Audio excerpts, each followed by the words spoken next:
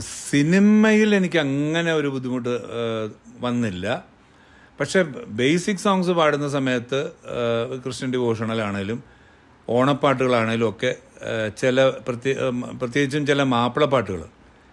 അത് ആ ഉച്ചാരണവും ശരിയാവണം സ്പീഡും വരണം അതേസമയം അക്ഷരങ്ങളും നമുക്ക് വിഴുങ്ങാൻ പറ്റത്തില്ല.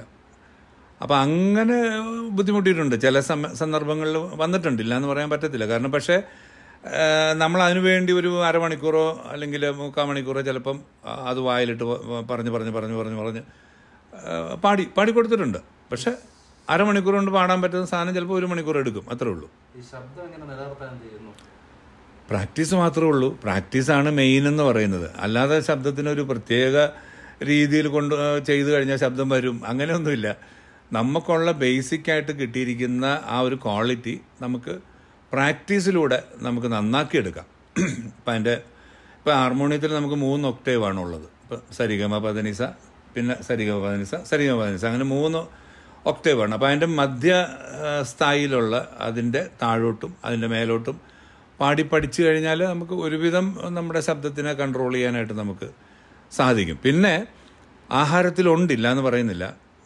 ഒരുപാട് ഈ നെയ്യ് അങ്ങനെയൊക്കെയുള്ള സാധനങ്ങൾ. ഇപ്പോൾ തൊണ്ടയിൽ നമുക്ക് ഒരുപാട് കട്ടിയിൽ വന്ന മാംസം അടിഞ്ഞു കൂടിക്കഴിഞ്ഞാൽ നമ്മുടെ ഈ വോക്കൽ കോഡ്സ് ഇപ്പം ഉദാഹരണത്തിന് ഒരു സാധാരണ മനുഷ്യന് ഒരു പതിനായിരം വോക്കൽ കോഡ്സ് ആണ് ഉള്ളതെങ്കിൽ ഒരു നല്ല ഒരു തെറ്റില്ലാത്തൊരു ഗായകന് അത് ചിലപ്പോൾ ഒരു ലക്ഷമായിരിക്കും. അപ്പോൾ ഇതിന്റെ ഈ മൂവ്മെന്റ്സ് അനുസരിച്ചിട്ടാണ് നമുക്ക് ഈ വോയിസ് മോഡുലേറ്റ് ചെയ്യാനും കൺട്രോൾ ചെയ്യാനും ഒക്കെ പറ്റുന്നത്. അപ്പോൾ അതിന്റെ ആ ഒരു മോഡലേഷൻ നമ്മൾ പ്രാക്ടീസ് ചെയ്ത് പ്രാക്ടീസ് ചെയ്തിട്ടാണ് നമ്മൾ നമ്മുടെ പരിധിക്ക് കൊണ്ടുവരുന്നത്. ചില പാട്ടുകളൊക്കെ കേൾക്കുമ്പോൾ അറിയാം. ചിലപ്പം ദാസേട്ടനോ ചിത്രമൊക്കെ പാടുമ്പോൾ ട്രെന്ന് പോകുന്നതാണ് അതെന്ന് വെച്ചാൽ ആ വോക്കൽ കോഡ്സിന്റെ ആ ഒരു കൺട്രോളാണത്. അപ്പോൾ അതൊക്കെ കിട്ടണമെങ്കിൽ ഈ പറഞ്ഞ പോലെ നമ്മൾ അതിനു വേണ്ടി കുറച്ചൊന്ന് ത്യാഗം സഹിക്കണം. അതേപോലെ ഈ ഒരുപാട് നെയ്യും ഒക്കെ വന്ന് തൊണ്ടയിൽ അടിഞ്ഞു കൂടി കഴിഞ്ഞാൽ ഈ ഇതിനെല്ലാം കനം വെക്കും. അപ്പോൾ അതും നമുക്ക് ദോഷം ചെയ്യും. അതേപോലെ ഒരുപാട് പുളി ഒരുപാട് എരിവ്. വല്ലപ്പോഴും ഒന്ന് കഴിക്കുന്നതുകൊണ്ടൊന്നും കുഴപ്പമൊന്നുമില്ല. പക്ഷെ സ്ഥിരമായിട്ട് ഉപയോഗിക്കരുത് എന്ന് മാത്രമേ ഉള്ളൂ. അതേപോലെ തൈര് ചിലർക്ക് തൈര് അലർജിയാണ്. ഇപ്പം എനിക്ക് തൈര് ഭയങ്കര ഇഷ്ടമായിരുന്നു എന്റെ കുഞ്ഞുനാളിൽ പക്ഷെ അപ്പോൾ ആ സമയത്ത് എപ്പോഴും ജലദോഷം. തൈര് ഒഴിവാക്കി നോക്കിയപ്പം ജലദോഷം കുറഞ്ഞു. ചിലപ്പോൾ വല്ലപ്പോഴും ഒക്കെ വരുന്നുള്ളൂ. എസ് ബി ബിക്കൊക്കെ കിട്ടിയ ഒരു ഗുണം അതാണ്. കാരണം അദ്ദേഹത്തിന് ചിലരിലില്ലാത്ത ചില ക്വാളിറ്റീസ് അദ്ദേഹത്തിന് കിട്ടിയിട്ടുണ്ട്. അപ്പോൾ അദ്ദേഹം തണുത്ത വെള്ളം കുടിക്കുന്നത് ഞാനും കണ്ടിട്ടുണ്ട്. ഞങ്ങൾ ഒന്നിച്ചിവിടെ നമ്മുടെ K S R T C bus സ്റ്റാൻഡിന് മുമ്പിലുള്ള സ്റ്റേഡിയത്തിൽ ഒരിക്കൽ പാടിയപ്പോൾ സ്റ്റേജിലേക്ക് കയറുന്നതിന് മുമ്പ് അദ്ദേഹം ആ പിന്നെ തെർമോക്കൂൾ ആ ഇതിൽ നിന്ന് ബേസ് ഇതിൽ നിന്ന് ഒരു കുപ്പി തണുത്ത വെള്ളം എടുത്ത് അതിന്റെ പകുതിയോളം ഒറ്റ ഇതിലങ്ങ് കുടിച്ചു. കുടിച്ചിട്ടാണ് അദ്ദേഹം സ്റ്റേജിൽ കയറി വന്നിട്ട് പിന്നെ ശങ്കര എന്ന് പറഞ്ഞ് തുടങ്ങിയത്. അപ്പോൾ അതൊക്കെ വല്ലപ്പോഴും ഉണ്ടാകുന്ന ഒരു ജന്മമാണ്. രണ്ടായിരത്തിന്റെ തുടക്കത്തിന് വേണ്ടി പാടിയതാണ്. അതായത് തൊണ്ണൂറ്റൊമ്പത് ഡിസംബറിലേക്ക് പാടിയ പാട്ടായിരുന്നു ഇസ്രായേൽ ഇന്നാഥൻ. അതാണ് ആളുകൾക്ക് ഏറ്റവും കൂടുതൽ അറിയുന്നതും ക്രിസ്ത്യൻ പാട്ടുകളിൽ എന്നെ ഏറ്റവും കൂടുതൽ അറിയപ്പെടുത്തിയതും ഒരുപക്ഷെ ഇസ്രായേൽ നാഥനാണ് അത് ഈ പറഞ്ഞ യാദൃച്ഛികമായിരുന്നു. വല്ലപ്പോഴും ഉണ്ടാകുന്നതെന്ന് നേരത്തെ പറഞ്ഞ പോലെ ഉണ്ടായ ഒരു പാട്ടാണത്. എന്റെ നാലുപേര് ഞാൻ പാടാം. ഇസ്രായേലിൻ നാഥനായി വാഴും ഏകദൈവം സത്യജീവമാർഗമാണു ദൈവം. മർത്യനായി ഭൂമിയിൽ പിറന്നു സ്നേഹദൈവം നിത്യജീവനെ കിടുന്നു ദൈവം.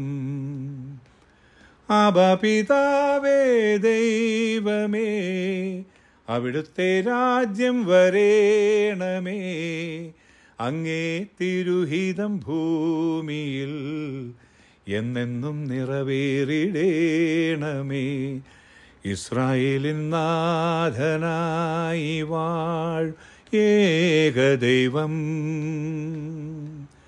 സത്യജീവമാർഗമാണു ദൈവം. ഗംഭീരം. ഒറ്റ ചോദ്യം കൂടെ ചോദിച്ച് അവസാനിപ്പിക്കുകയാണ്.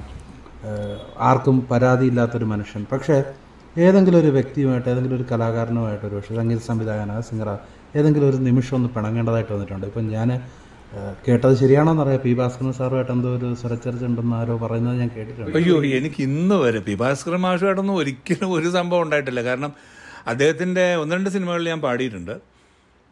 ഭാസ്കർ മാഷ് എഴുതിയ ഒന്ന് രണ്ട് പാട്ടുകൾ. അതൊരു ഭാഗ്യമായിട്ടാണ് ഞാൻ കാണുന്നത്. കാരണം എന്റെ തലമുറയിലൊക്കെ ഉള്ളവർക്ക് അങ്ങനെ അധികം പേർക്ക് പാടാൻ അവസരം കിട്ടിയിട്ടില്ല എന്ന് എനിക്ക് തോന്നുന്നത്. പി ഭാസ്കരൻ മാഷിന്റെയൊക്കെ വരികൾ മാഷായിട്ടൊന്നും ഒരിക്കലും സിനിമാ രംഗത്തുള്ള ആരുമായിട്ടും എനിക്ക് ഒരു അങ്ങനെ ഒരു പ്രശ്നം ഇന്ന് വരെ ഉണ്ടായിട്ടില്ല.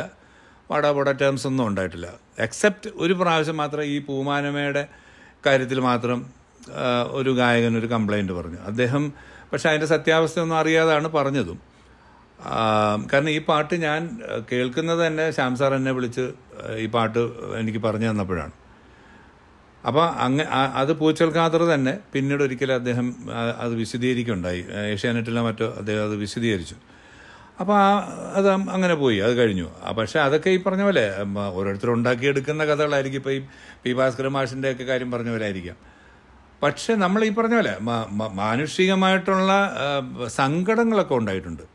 ഇപ്പോൾ ഒരു പാട്ട് പാടാനായിട്ട് വിളിച്ചിട്ട് നമുക്കത് കിട്ടാതെ പോകുമ്പം അല്ലെങ്കിൽ നമ്മൾ പാടിയ പാട്ട് പിന്നീട് അത് വേറെ ഏതെങ്കിലും കാരണത്താൽ സിനിമയിൽ നിന്ന് മാറ്റുകയോ അല്ലെങ്കിൽ ആ ഫുൾ ലെങ്ത് പാടിയ പാട്ട് പിന്നെ രണ്ടാക്കി വേറൊരു ഗായകനെ കൂടെ അതിനകത്ത് കൊണ്ടുവരികയോ ഒക്കെ ചെയ്യുമ്പോൾ ചില സങ്കടമൊക്കെ തോന്നിയിട്ടുണ്ട് പിന്നെ ഈ പറഞ്ഞ പോലെ ഞാൻ പറഞ്ഞില്ലേ ഡെപ്തുള്ള നല്ലൊരു പാട്ട് എനിക്ക് പാടണമെന്ന് വലിയൊരു ആഗ്രഹം ഉണ്ടായിരുന്നു. കാരണം എനിക്ക് അങ്ങനെയുള്ളൊരു പാട്ട് കിട്ടിയതായിട്ട് എനിക്ക് വലിയ പിടുത്തമില്ല. ഇപ്പോൾ പൂമാനമൊക്കെ നല്ല പാട്ടാണെന്ന് പറഞ്ഞാലും ഇപ്പം ചില സിനിമയിലെ പ്രൈം പാട്ടുകളെന്ന് പറയും. ഇപ്പം ഉദാഹരണത്തിന് ഇപ്പം പഴയ കാലത്തെ പാട്ടുകളിൽ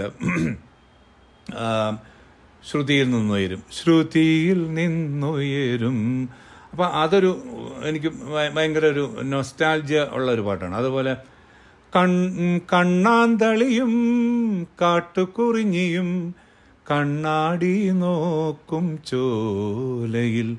അപ്പം അങ്ങനെയൊക്കെയുള്ള കുറേ നല്ല പാട്ടുകൾ ഒരു സമയത്ത് ഉണ്ടായിട്ടുണ്ട്. അപ്പം അങ്ങനെയുള്ള ഏതെങ്കിലുമൊക്കെ കുറച്ച് പാട്ടുകൾ പാടണം എന്ന് വലിയൊരു ആഗ്രഹം ഉണ്ടായിരുന്നു. പക്ഷെ അങ്ങനെയുള്ള പാട്ടുകളൊന്നും കിട്ടിയിട്ടില്ല.